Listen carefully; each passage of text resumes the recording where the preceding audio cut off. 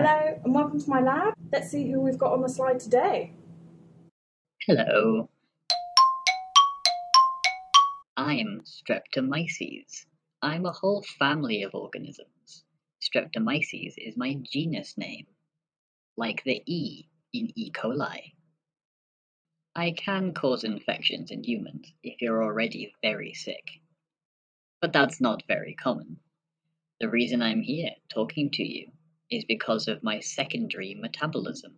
It's very complicated, but has been used for a long, long time to produce antibiotics. Why would you want to be making antibiotics? I'm a bacteria that kills other bacteria. That's not that uncommon. Lots of bacteria live in places where there's others, like water and soil or in your gut and we're all vying for dominance, producing antibiotics to kill the competition so we can rule. The most famous antibiotic that I ever produced is called streptomycin and was used to treat TB. Research is still done into me and into all of my antibiotic producing friends because the humans are running out of antibiotics, which makes treating diseases like me and my friends more difficult.